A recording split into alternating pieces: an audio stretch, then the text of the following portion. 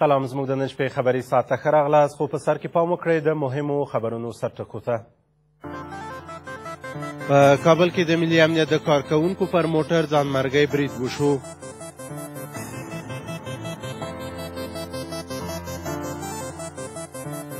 د ملي دفاع وزارت له افغانستانه بهر د ترهګرو پر ځالو د فشار د راوړلو خبر ورکوي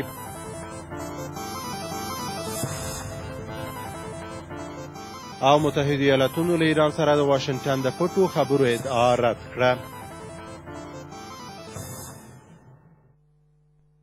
اوس هم پوره خبرونه ویاند سمیع الله جلالزی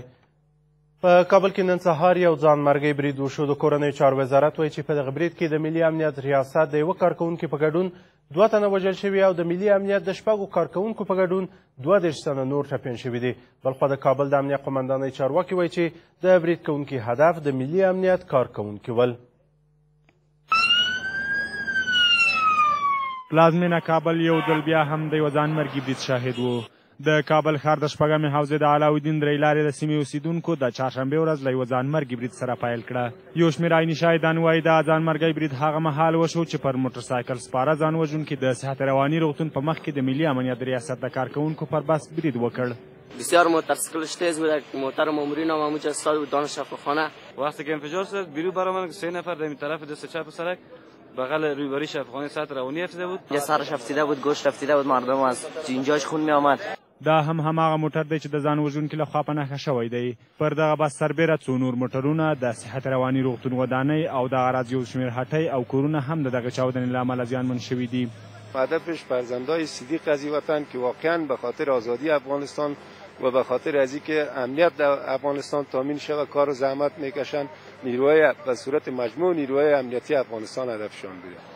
که څه هم په دې ډول پیښو کې خبریالان د معلوماتو د ترلاسه کولو هڅه کوي خو په پرله پسې توګه د امنیتي ځواکونو له برخورد سره مخامخ کیږي. د کابل د امنیو قوماندانۍ د جنایي څېړنو رئیس وايي، دغه پېښه د پردیو له لوري ترسره شوې ده. په همدې حال کې طالبانو د یوې خبرپاڼې له خپرولو سره ویلي، دغه برید د احمد په نوم د دوی د یوه ملګري لخوا چې د پکتیا ولایت اوسېدونکی دی ترسره شوی دی. دغه خبرپاڼه زیاتوي، په دغه پېښه کې د ملي امنیت درې سوه اووه تنه کارکوونکي وژل شوي او څوارلس تنه نور هم ژوبل شوي دي، خو امنیتي مسؤلین د طالبانو دغه ادعا بې بنسټه بولي. زور تو وکیل است در توی که انتاری کردی مخاطب من تو هستی و امثال تو ولی مریضای شفاخانه یا دفاع از خود میتونستند مسلح بودند دشمنای تو می بود پنچرمین بود. کسی که سرایدار بود همون بود دریورای عاجز بود بې دفاع بود له دغې پېښې وروسته د عامې روغتیا وزارت او امنیتي ځواکونو د هڅو په پایله کې د دغې پېښې وژل شوي او ټپیان شوي روغتونونو ته ورسول شول. د دغه پېښې یو شمېر ټپیان هم د سترګو لیدلی حال داسې بیانوي.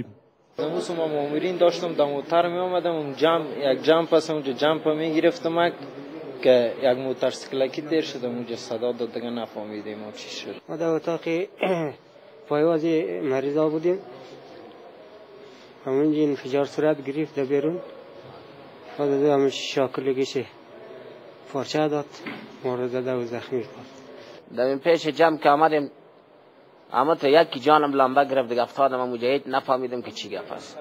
وضعیت یک نفر از زخمی ها بسیار وخیم است که جروحات متعدد در صدر و در بطن خود داره برای متباقی از مجروحین کومت صورت گرفته طالبانو د دغه پیښې مسولیت په غاړه اخیستی او دغه پیښه په داسې حال کې ترسره کیږي چې افغان دولت د دولت له وسلوالو مخالفینو سره د خبرو لپاره د سولې عالي شورا جوړه کړې ده بلخوا ولسمشر حامد کرزي د نن سهار ځانمرګی برید وغانده. د جمهوري ریاست د رسنیو دفتر د یوې خبرپاڼې په خپرولو سره وایي، ولسمشر کرزي دغه ځانمرګی برید چې د کابل په علاوالدین سیمه کې وشو په سختو الفاظو غندلی او دا یې غیر انساني او وحشیانه کار بللی دی. بلخوا په کابل کې د امریکا سفارت او ایسف هم دغه برید غندلی دی. ولسمشر کرزی د ځانمرګو بریدونو د ترسره کېدو موخه خلکو ته زیان رسول ګڼي. نوموړی وایي هغه کسان چې ترهګر بریدونه کوي د پردیو مزدوران دي. د ننه په ښار او هغو سیمو کې چې د ښځو او ماشومانو په ګډون په سلګونه کسان تګ راتګ لري برید یو وحشانه، ناانساني او اسلامي ضد عمل دی. له بلې خوا امریکا او ایساف ځواکونه دغه پیښه په کلکه غندي او وایي د دولت مخالف وسوال او ترهګر د دغه راز بریدونو په ترسره کولو سره غواړي په خلکو کې ویره او ډار رامنځته کړي It was again a, uh, a suicide porn. دا پیښه د مخالفینو لخوا د افغانستان د بیګناه خلکو پر وړاندې تر سره شوې ده او دا د مخالفو وسلوالو د وحشانه عملیاتو دوام دی او زموږ لپاره په ټول افغانستان کې د دغه راز بریدونو بیا بیا اوریدل د خواشینۍ وړ دي. د بشري حقونو خپلواک کمیسیون د نن ورځې د ځانمرګي برید کلکه غندنه کوي. یو شمېر کابل ښاریان د نن ورځې د ځانمرګي برید په غندلو سره د دولت له مخالفو وسلهوالو غواړي چې د ملکي کسانو له وژلو ډډه وکړي. کلش مردم بې غرض مردم مسکین اینا مردما چاترای مردم یا مقصد فامیلای مردم بې سرپرست میشه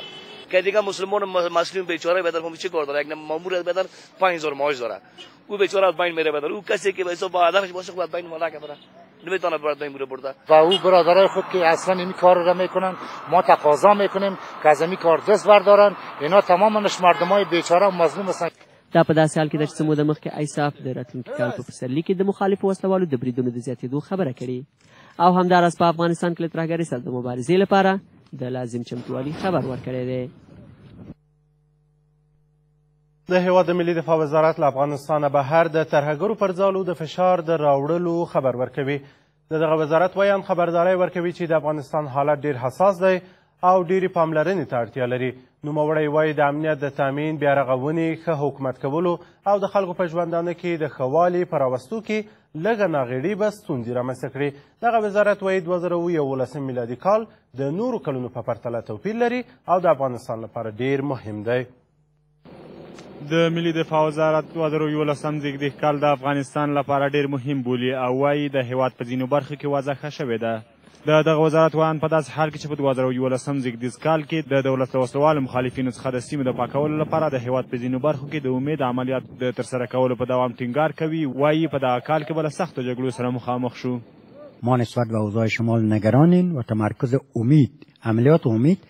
در سال آینده با مشخصا بولې سام ته شمال د طور ویژه خواهد بود. له بلې خوا د ملي دفاع وزارت د هېواد وضع ډېره نازکه بولي او وايي، تر څو چې افغان امنیتي ځواکونه د څنګهوالي او څومروالي له نظره بشپړ نه شي، وضع به همدغه شان نازکه وي. اوضاع بسیار حساس است، شکننده است، باید همه ما، ما به عنوان جانب افغان و نیروهای بین المللی توجه خود بکنند تا همه اهدافی که ما در یک عملیات در نظر گرفتیم، همه اهداف ما کاملا. تعمیل بشه یا کاملا اجرا بشه طبیعی است که در چنین شرایطی حساسیت وجود داره شکنندگی وجود داره که باید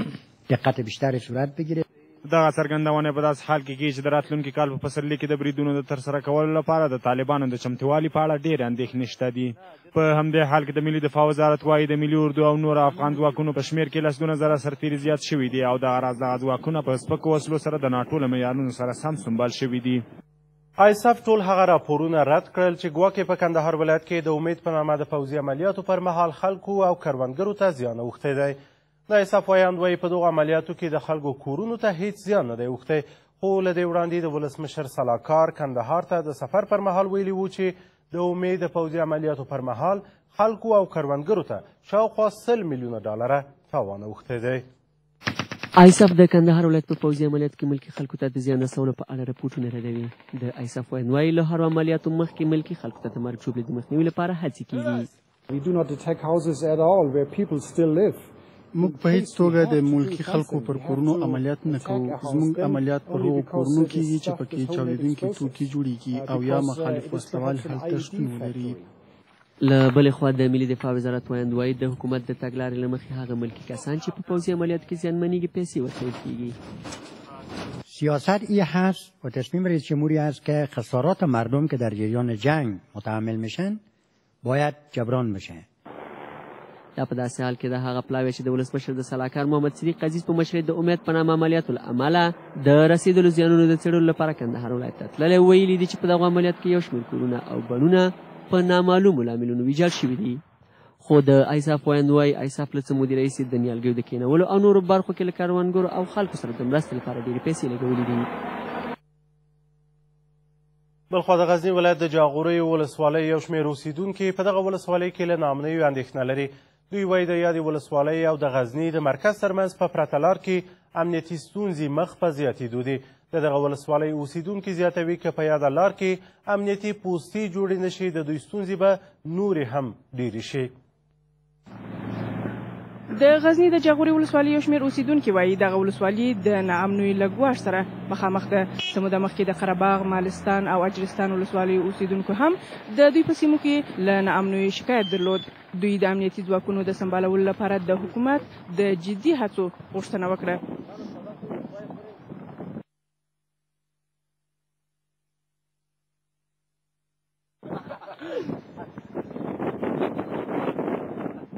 مسیر گیلان و جاغوری امنیت نداریم ما در مسیر قرباغ و جاغوری امنیت نداریم ما در منطقه ده مردل امنیت نداریم شخصی نیست پوسته های فردی نیست پوسته های منطقه‌ای نیست پوستا پوستای دولت است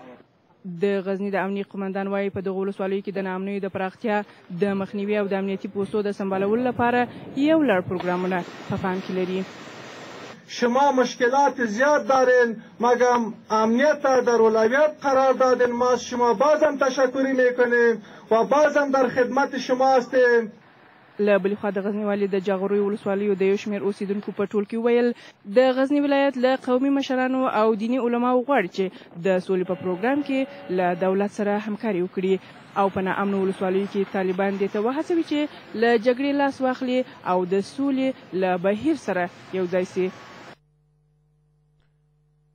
بلخوا د هلمند ولایت امنیتي چارواکي د دوه دېرشو ماینونو او د درې نیم ټن امونیم نایتریت د نیولو خبر ورکوي. د دغه ولایت چارواکي وایي دغه توکي په تېرو درې ورځو کې د یاد ولایت په مرکز او یو شمېر ولسوالیو کې د ځانګړو عملیاتو پر مهال ترلاسه کړي دي. نور حال به زموږ د همکار بریالي رحیمي په راپور کې.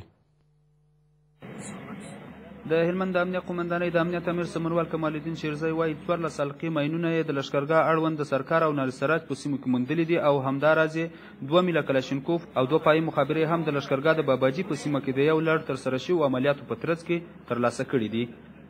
په هغه عملیات کې موږ سره خلکو همکاري وکړه چې هغه ماینونه ونیول شول او په ضمن کې دوه تنه وروڼه چې موږ سره یو ځای شوي دي چې یو پیکا ورسره ده او یو کلاشینکوف او دوه ماینونه چې په ډېر مشکل دوی ګروپو څخه دی راووتل د موږ پولیس سره یو ځای شول. د یو بل خبر له مخې د ملي امنیت موظفینو په یو ډاټسن موټر کې اویا بوجې امونیم نایتریت مواد چې طالبان یې په چاودېدونکو توکو کې کاروي د نیولو خبر ورکړ. په دې اړه د هلمند د والي مرستیال عبدالستار میرزکوال وايي چې دغه مواد د پاکستان له ګردي جنګل سیمې څخه د اوړو او کیمیاوي سرې په نوم په دغه موټر کې بار شوي وو. دا هغه المونیم نایترایت دی